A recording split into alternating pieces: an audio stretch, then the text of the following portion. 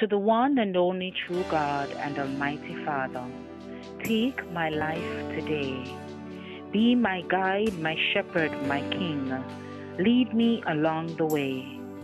My heart, my mind, my very soul, I submit to your command.